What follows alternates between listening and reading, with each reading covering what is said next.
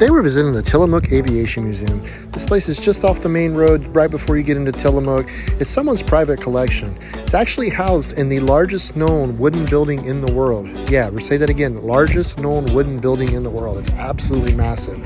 The building was actually originally designed for a hangar for a blimp during World War II that ran it up and down the coast of California and Oregon checking for Japanese subs. Definitely an awesome stop. If you're in Tillamook, make sure you check it out.